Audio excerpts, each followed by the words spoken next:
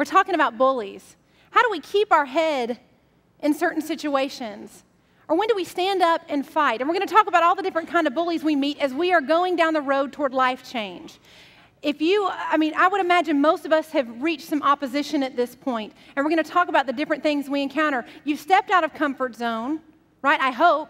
You've made a decision, whether it's you began this journey when we started 100% for 100 days, which is five weeks ago, actually or you're just starting this morning and maybe I'm going to be able to convince you to start that journey. Regardless of our past, regardless of what we think about ourselves, we're going to decide, we're going to change, and we're going to go forward together. We're going to meet some opposition. And we're going to look at this, and one of the greatest ways to look at it is through the character of Moses. Moses is such a perfect example. At least I relate to him because I feel like the way that he meets opposition is exactly the way that I have met opposition in my life. Moses is assigned a task. God is going to come to him and say, I want you to return to Egypt from where you fled. You are a fugitive from there. And I want you to tell Pharaoh, let my people go. Moses encounters his first bully himself. Right out of the gate in Exodus, Moses says, I can't, I am clumsy in speech. Or I can't, I stutter. Or I can't, I'm not good with words. The first bully I want to talk to you about this morning is you. John's kind of mentioned it, our inner dialogue. What is going on? What are the tapes that are playing in our head that have told us that, oh, yeah, you want to try and leave comfort zone? Oh, yeah, you want to try that change? Well, you can try, but you won't do it.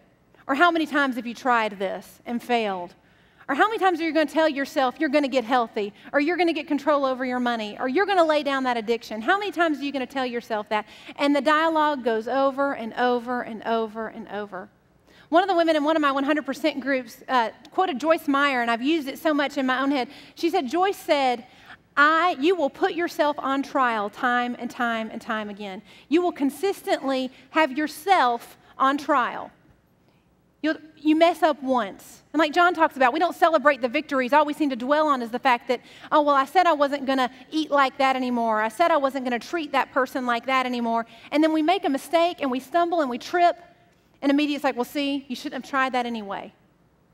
Well, see, you weren't ever really going to get that anyway. You're really not going to change. And we put ourselves on trial. We are our worst judge and jury. And we will do it over and over and over. We won't stop until we, we recognize it, then we go, I cannot bully myself. Because you will argue yourself out of life change. You will argue yourself out of an abundant life. John 10:10 10, 10 is one of my favorite passages. It's Jesus saying, and he says, The thief comes to steal, kill, and destroy. But I have come that you may have life and have it to the full. Some translations say, have it abundantly. I, I, the 20 somethings have probably heard this a million times. It's one of my favorite passages because there's a couple of key things in here I want you to pick up on this morning. One is that Jesus is saying you can have a full life, not a half life not a mundane life, not a tolerable life, not a eh, it's okay life, but a full, abundant, vibrant life is what is offered. But the most important part of that passage is a few words before, and it's may have. It's a choice.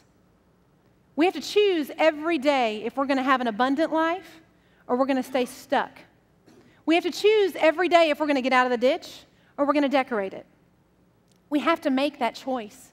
And the first bully you're going to encounter in making that choice is probably going to be you. Now, I used to have this philosophy. For about four years of my life, I spent time telling myself that I wasn't going to tell myself I was going to diet or exercise because I had told myself that time and time and time again to actually not do it. I would order, I can remember in my early 20s ordering the Tae Bo tape series. It was on VHS. Some of you don't know what those are. But there were, v, there were a box of VHS tapes came to my apartment in college, and I was in there and I was Billy Blanksing it up for about two days, and then I was like, see, you're not really going to stick to anything. And that happened with Turbo Jam and Tae Bo 2, and I mean, every other set of DVDs that I bought. And I just finally got to the point where I said, I'm just not even going to do this anymore. I just decided I wasn't even going to tell myself that anymore. And I've had friends that have said that to me. They said, I'm not going to tell people I'm on a diet, or I'm not going to tell people I'm going to lose weight, or I'm not even going to tell myself that because I'm really not going to do it, so I'm just not going to say that anymore. I've tried in the last couple of years to adopt a very different mentality. I'm going to tell myself that every day because one day might be the day that I do it. I'm going to tell myself every day that today I'm going to eat healthy. And I might trip up. Pastor Willie might make some awesome things out in the hallway, might make it difficult. I told Willie, I was like, You're a food bully, Willie. I was like, You cook too well. And everything you make is wonderful. And he's been making stuff all week and he brings it into my office. And I'm like, Willie, you're killing me. But it's so good. Yes, let me have it. I, I just work out a little harder the next morning, kind of.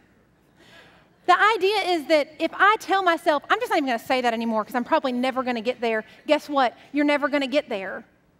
You have to decide that if I have to wake up every morning and say, Today's the day I'm not going to whine or complain at work and I'm going to have a positive attitude, or today is the day I'm not going to be, uh, de- you know, depressive and just consistently talking about how life has just handed me a raw deal, or today is the day I'm going to respect my spouse, or today is the day I'm not going to yell at my kids and my head's not going to spin and the flame thing. I mean, I, today is going to be that day. And when I decide to stop saying that, I understand the logic that I've had in the past. I understand that it seems easier. You're just being a realist, right?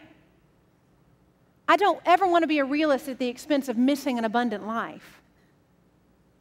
I don't ever want the reality of this world to keep me from the reality that God desires to hand to me. And I've got to stop putting myself on trial. I've got to stop the voices inside my head. I know that makes me sound crazy, but you know you've got them too. I've got I've got to stop walking in that way and I have to start to operate against those bullies, against myself. Now, there's other bullies we're going to meet along the way. And I want to explain to you something about bullies. Now, now we're talking about outside opposition, okay? Moses encountered a bully immediately right out of the gate, right after he says himself, you know, I can't talk, I stutter, I stumble in speech. He says, and Pharaoh won't listen to me. Moses was smart. Of course, Pharaoh's not going to listen to him. Did he really? I, I have no doubt that Moses knew Pharaoh would say no because basically Moses is going to walk in and say, I realize I've murdered someone in your country. I realize I ran away and I'm back now. And would you mind giving over your entire workforce and building the pyramids yourself? I have no doubt that Moses knew Pharaoh's answer would be no. Moses knew that would be a bully, that would be an opposition. When we get opposition, whether it's known opposition, opposition that we expect, we knew that one person that we've been enabling over and over and over when we decided, I'm going to stop giving you money, or because it's not healthy for you or me, or I'm going to start catering to your, stop catering to your addiction. We know that we're going to get some opposition when we start to make life change. And Moses knew that Pharaoh was going to oppose him, but there's a reason that Pharaoh opposed him, and also we're going to get opposition that will actually surprise us. And there's a reason for that as well. It's because we're all made up of systems. So when we do something with a group of people consistently and, and, operate a certain capacity, like your family, or perhaps your work environment, or perhaps your friendship circle, when you operate like that long enough, it becomes what is called a system. You are in a system.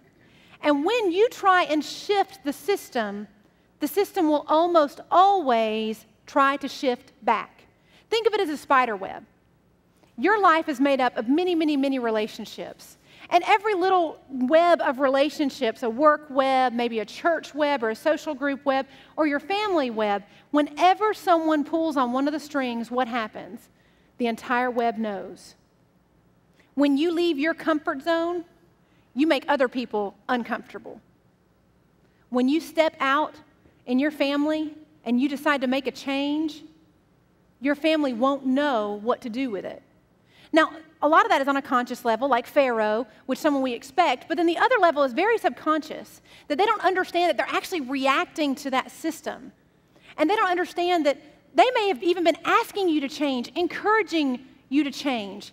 And you may wonder, why is this so difficult? Why is my family not embracing what I'm trying to do? Or why do I hear comments like, oh, here you go again, getting all high and mighty? Or, oh, I'm sure, yeah, now you're Mr. Church person. Or, I mean, there's a list of things that get said to people. Oh, you're really never going to change? Are we doing that diet again? Oh, how many times have you said that you're going to get your finances in order? How many times have you said you're going to go to those meetings that you need to attend?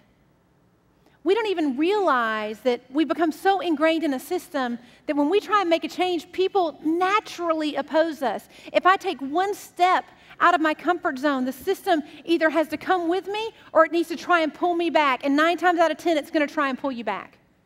You ever felt like that? Like you say, let's say it's a work environment, and you say, Today I'm going to have a positive attitude at work. I'm not going to be irritated at that person over in that cubicle, and I'm not going to be irritated that, well, fill in the blank. And you go in and you're doing great at about 9 o'clock. And by about 10 o'clock, someone says something, and it pushes just a little bit, and you think, I don't know if I'm going to make it. These people are idiots. I don't know how I'm going to walk through this. That's what we're thinking. Let's be honest. That's what we're thinking and you take a step, and then all of a sudden you're like, wow, people got dumber today. This happened today. Yesterday, I don't think they were like this, but today, because I decided to make a change. Honestly, guys, the system probably didn't change, but you're trying to shift and move, and you've made the system uncomfortable. You are more aware now. And then you're going to keep, if you can push through that, you know what's going to happen next is they're going to notice you're different. What's up with you lately?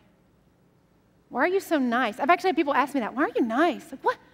I'm trying to be more positive. Really? Like, isn't this a good thing? What, what, what happens is we get so used to operating at a certain way with each other that we don't know how to even let other people get out of that way. And we don't, we can come in contact with opposition because they're so used to us being that way. They're so used to us behaving that way or helping them in that way that when we decide to make that change, they are just as uncomfortable as we are. And actually, it's almost just as difficult for them as it is for us. The system will always try and reset itself. I want you to remember as you take those steps to make that change, whatever the change that you've committed, it's going to require a lot of work in your mind. It's going to tr- require a commitment. If you're anything like me, you started strong and it's week five, and now those sacrifices, and hey, Okay. And those commitments, and those commitments are going to be more and more difficult to, t- to, to stick to, right? If you can counter that yet, you know, you started off, man, I'm going to get healthy, I'm going to get plugged into this, I'm going to make this, and then it's just things get in the way, and busyness happens, and comments get made, and you rationalize yourself, and bullies appear. You know, and uh, they're not always, I got, I got to keep clarifying this, I feel like, because sometimes we hear the word bully and we think of someone who's going to pick you up by your feet and shake you over like a toilet or shove you in a locker and they're asking you for your lunch money. Some of you have those bullies in your life. They're that directly opposed to you changing. I think most of my bullies don't look like that. They look more like the person that is standing next to the person that is holding me by my feet, and they're saying, Yeah, you should just give him your lunch money. They're the ones that really, with good intentions, ask, the, ask some questions that make me go, really, can I do this? Really, can I stand up for myself? Really, can I make change? Can I actually be the person that I want to be? Because I feel like if they don't believe in me, if they don't encourage me, how am I going to know if I can do it? But they don't always mean to because the system is trying to reset itself. We don't always have to look at that negatively, though. When the system tries to reset itself and people start to ask you questions or make comments, you can actually start to look at that as fuel. Think about that change you tried to make and how someone makes it. I mean, I know when, when I started to get healthy, and, and we've used Shane Davis and, and his example with his family before, when he started to try and get healthy, and he went to his family and said, Could we have some vegetable options at family meals instead of potatoes prepared six different ways? And you guys don't laugh because you know it's your family meal. Some of you are going to it this afternoon for Mother's Day. You're like, wow, I didn't know we could do potatoes this many ways and one vegetable. I mean, that's my, I mean, and, and I love it. My grandmother's the best cook in the world, lots of potatoes. And when you go into that family system, you say, Can we have some vegetables? All of a sudden, they're insulted and they're offended, and all you're trying to do is be healthy. I remember. I remember feeling so bad. I, my small group, I have one of my small groups that I've had for about three years, a, a group of wonderful women that I love so much. But about every Sunday, someone bakes something. And it's like Willie again. It's like, oh, I love that you're baking me things for me to eat. And if you bake it, I'll feel like I need to eat it. And I, and I was always, for two years, I think I've been scared to say, hey, can you not bake things? And maybe pick up a veggie tray, because that's really going to help me. And it was funny because I finally went in last Sunday because one, one of my other groups said they were going to hold me accountable to telling my small group, I don't, I can't, I have, it's a struggle. And I went in and I stumbled around it, and they were like, Yeah, that's fine. We don't have to bake something every Sunday. I was shocked by how, like, they actually wanted to encourage me in that regard because I had to start with my inner dialogue, and then I was worried I was going to meet some of these bullies. But even in that same context, the same group that I have to ask to, to help me in this one regard, they also have to challenge me and they also have to kind of push against me. So, those are the kind of bullies I want to talk about now. Those bullies that you don't expect, but it's not necessarily negative. In fact, it might do us some good to start looking at criticism in a more positive light as fuel. Perhaps it will strengthen your resolve. Perhaps it will help you clarify your goals. Get, maybe someone will ask you questions that you didn't think to ask yourself when you decided to pursue that dream, pursue that life change. Maybe you haven't thought about it in a certain way. One of my favorite quotes that I found this week for you guys that I'm in love with now is from Aristotle, and it says Criticism is something you can easily avoid by saying nothing, doing nothing, and being nothing. If you aren't walking out of your comfort zone enough, you won't get criticism. The system won't even notice a change because you're really not walking out. But if the system notices a change and you start to get some criticism, start to get some bully pushback, understand that that's part of it. And embrace it. Be excited about the fact that people are going to say, hey, what's going on? Why is this different? Maybe you can use that as fuel maybe it'll clarify what you're actually doing. There's a, uh, there's a parable that's been told for years, and, and I recently heard that John Maxwell has shared this. So I want to share this with you because it's a great way to look at the things that come up against you in life. There's a bird that decides that the whole flying to south thing is overrated, like way too much effort. Remember when I shared with you last, it's like kind of running for me, like way too much effort. You know, the whole flying south, I'm just not sure I'm into it. He says, you know, this time I'm just going to wait it out up here. I'm just going to stay up north. I'm not going to fly south, and we'll get through the winter, it'll be fine. So he watches as all his friends are leaving, and he decides he's just going to stay in the north. I'm going to stay. And it starts to get cold and colder, and all of a sudden he starts to get real uncomfortable, and he's like, oh, maybe this wasn't a good idea. Maybe I should have flown south. Oh, I should have done that, definitely. He starts to get colder, and he goes, he starts to get hungry because food is scarce, and he says, okay, I'm going to fly. I'm just going to have to try and make it because I can't stay here. So he takes off and he starts to fly south. And about halfway, he starts to, his wings start to freeze because it's so cold. And he starts to actually freeze up where he's not able to fly. So he lands and he goes, I guess this is it. This is the end. I'm frozen. There's no food. I don't know what I'm going to do. This is it. And along comes a cow. And the cow decides to, and I tried in the first service to find polite words to use this. Um, and the audience actually helped me find some wonderful words. The cow decides to um, unload right on the bird. And the bird goes, Great. Really? Really? This is exactly what I needed. I'm freezing. I'm starving. I can't make it south now, and you have unloaded on me. Really? We know how that feels, right? I'm trying to get ahead in my life, and you just keep giving stuff to me. You keep unloading on me. And then he starts to warm up a little bit because apparently what cows unload is warm. And as he starts to warm up, he can kind of move just a little bit, but he's kind of stuck. And a cat comes along, a sweet, precious cat comes along and pulls him out and cleans him up and eats him.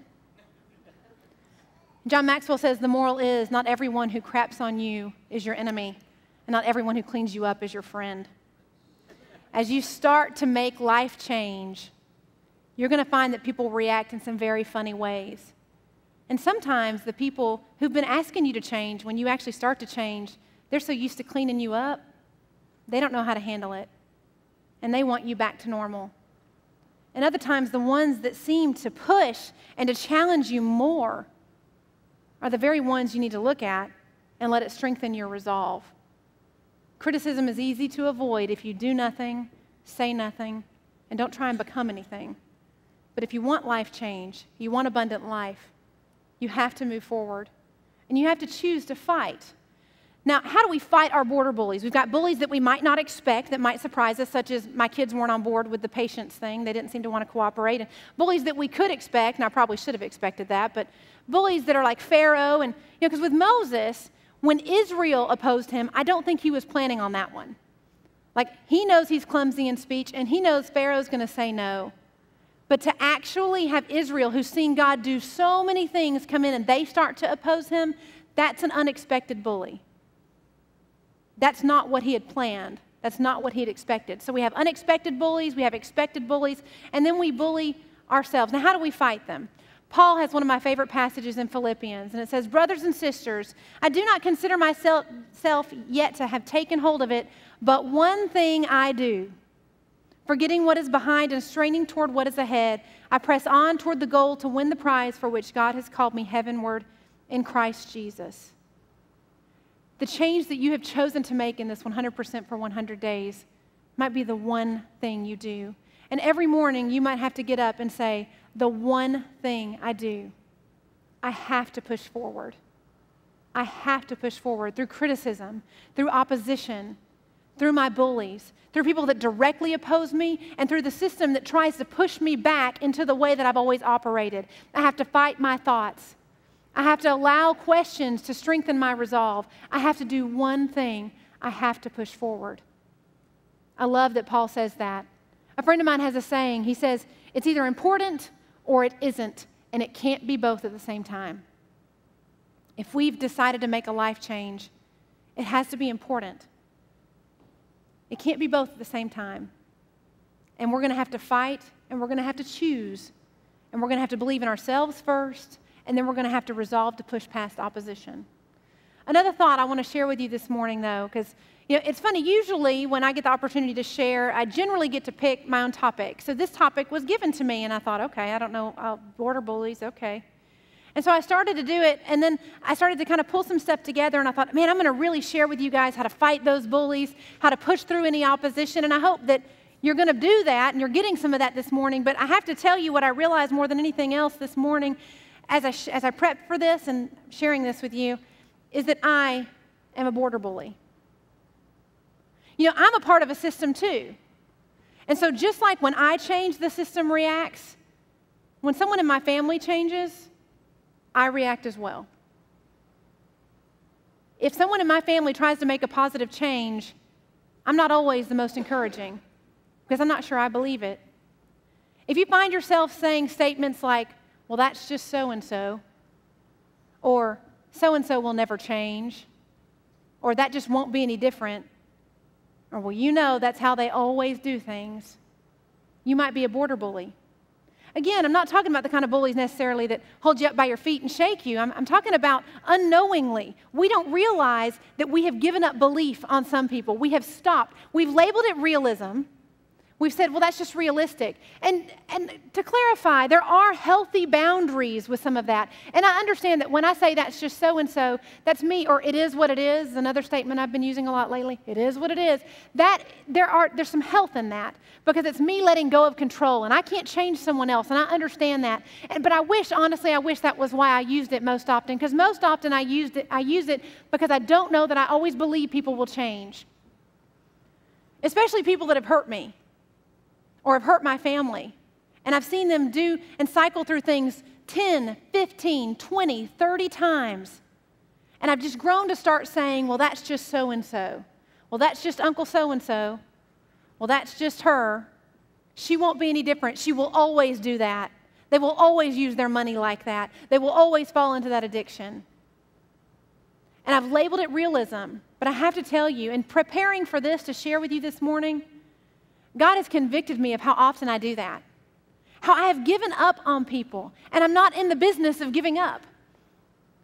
You know, I don't have to be a doormat to have belief, and it doesn't make me naive to have hope. There's a passage where Jesus says something to his disciples as they ask him, Who then will be saved? Who then will actually come into right standing with God? Who then will actually become whole and healed?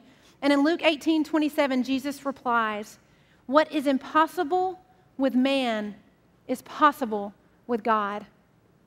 I love that when I think about border bullies coming against me, I want to look at them and I want to say, you know, if I do this with God, if I walk through this 100% for 100 days and I give it everything and God walks with me, I know that God can take me there. But how funny is it that I think possibly I've forgotten that God can take other people there as well?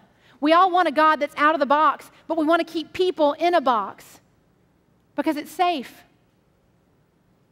We become a border bully without even realizing it because it's so easy to give up and to lose hope. This morning, what I received more than even trying to figure out how to push through my bullies was that I also need to not be a bully. I also need to take that person that I've kind of said, well, that's just so and so, and take them out of the so and so category and encourage them to pay attention to what I say and how I react to them. You know, part of the reason we often have a hard time and we become border bullies is because if that person got fixed, who would we have to complain about? If that person got fixed, who are we going to talk about at family dinners? If Uncle so and so isn't such a so and so, such and such, who are we going to whine about? Or maybe we don't want people to change because if they get rid of their sin or their struggle, I might have to deal with mine. We keep people in a box. Just like we don't want to be kept in a box, we can't keep others in a box. Again, I'm not talking about healthy boundaries. I'm talking about a belief in what Jesus just said that we believe in a God that does the impossible. That with man, not all things are possible. Some things are impossible. With God, all things are possible.